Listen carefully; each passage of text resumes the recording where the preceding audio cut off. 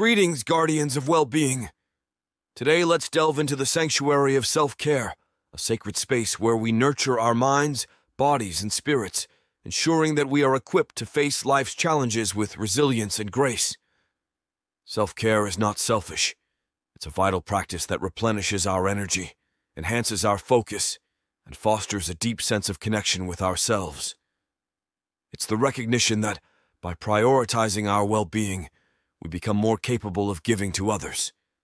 Consider the transformative power of self care, the way it reduces stress, enhances our relationships, and creates a foundation for a fulfilling life.